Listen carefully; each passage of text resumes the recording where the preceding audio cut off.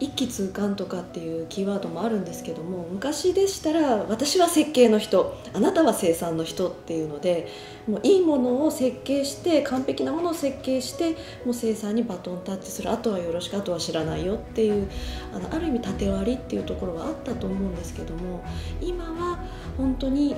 こういう工法だったらこんな設計をサポートできるよこんな設計こんな工法でできるっていうようなお互いが一つのチームで競争で作り上げるっていうそこは非常に今松田としては強く取り組んでいるところではありますよね。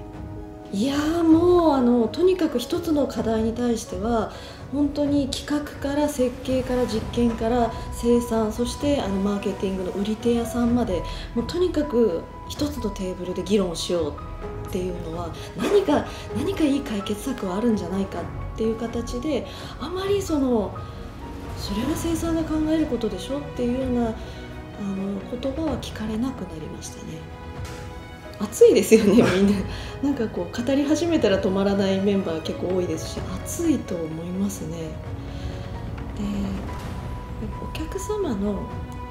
笑顔が見たいっていうのはやっぱエネルギーの源だと思うんですよね。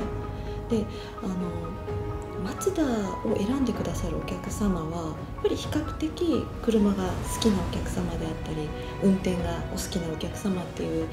方が多いのは多いと思うんですよね。でやっぱり社員自身も私自身もやっぱり車が好きですし車を運転するのも好きですし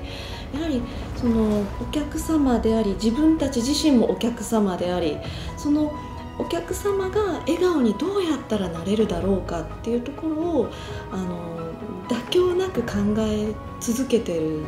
ところがあのちょっと違うところなのかなっていうふうに思うんですよね。動く道具として